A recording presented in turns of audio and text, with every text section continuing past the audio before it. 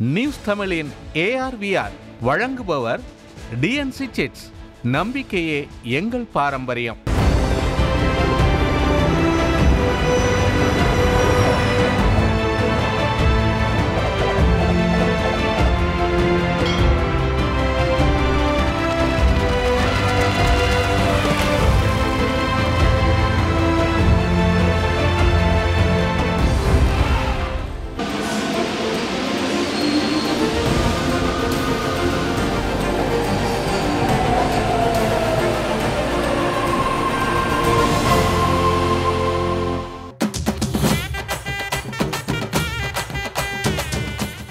சங்கம் வச்சு தமிழ் வளர்த்த ஊர்.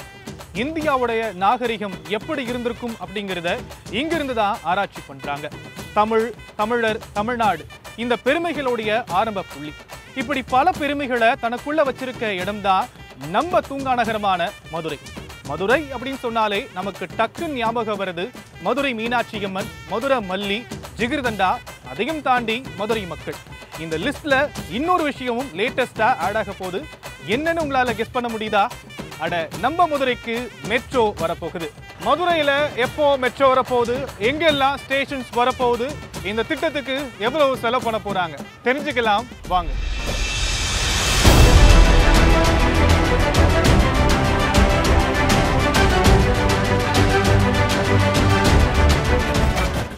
தமிழ்நாட்டை பொறுத்த வரைக்கும் ஏற்கனவே சென்னையில மெட்ரோ ரயில் திட்டம் சிறப்பா செயல்பட்டு இருக்கு அதே மாதிரி மதுரை மற்றும் கோவையில செயல்படுத்த நினைச்சு அதற்கான சாத்தியக்கூறு தமிழக அரசிடம் ஒப்படைக்கப்பட்டுச்சு. அந்த அறிக்கையில மதுரையில ஒத்தக்கடையிலிருந்து திருமங்கலம் வரைக்கும் முப்பத்தோரு கிலோமீட்டருக்கு மெட்ரோ ரயில் திட்டத்தை செயல்படுத்தலாம்னு சொல்லப்பட்டிருக்கு.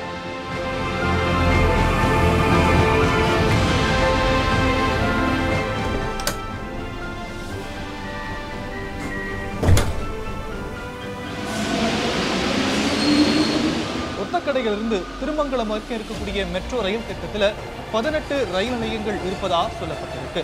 ஒத்தக்கடையில கிளம்புற மெட்ரோ மாட்டுத்தாவணி கோரிப்பாளையம் சிம்மக்கல் மதுரை ரயில் நிலையம் திருநகர் திருப்பரங்குன்றம் வழியா திருமங்கலம் வரைக்கும் போறதா சொல்லப்பட்டிருக்கு. மதுரை மெட்ரோ ரயில் திட்டத்திற்கு சுமார் எட்டாயிரம் கோடி செலவிடப்படலாம்னு மதிப்பிடப்பட்டிருக்கு. உயர்மட்ட பாலம் மற்றும் சுரங்கப்பாதை வழியாகவும் இந்த மதுரை மெட்ரோ ரயில் திட்டம் செயல்படுத்தப்படுவதற்கான வாய்ப்புகள் இருப்பதாக சொல்லப்பட்டிருக்கு.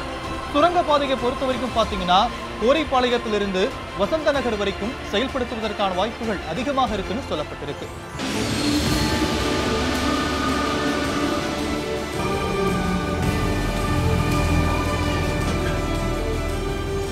மத்திய அரசுடைய வழிகாட்டுதலின்படி லைட் இல்லனா நியோ மெட்ரோ ரயில் திட்டம் மதுரையில செயல்படுத்த வாய்ப்பிருப்பதா சொல்லப்படுது.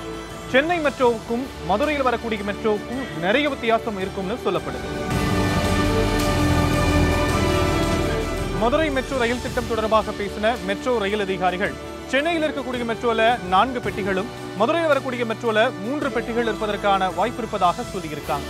அதே போல சென்னையில் இருக்கக்கூடிய பிளாட்ஃபார்ம்ஸை கம்பேர் பண்ணும்போது மதுரையில் வரக்கூடிய பிளாட்ஃபார்ம்ஸ் அதாவது நடைமேடை சிறியதா இருக்கிறதற்கான வாய்ப்புகள் இருப்பதாகவும் சொல்லப்படுது.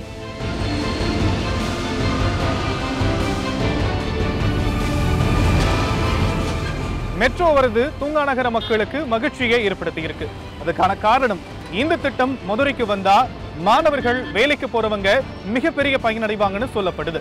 இந்த திட்டத்தின் மூலியமா இங்க சுற்றுலா வரக்கூடிய மக்களும் மிகப்பெரிய பயனடைவதற்கான வாய்ப்புகளும் இருக்கு.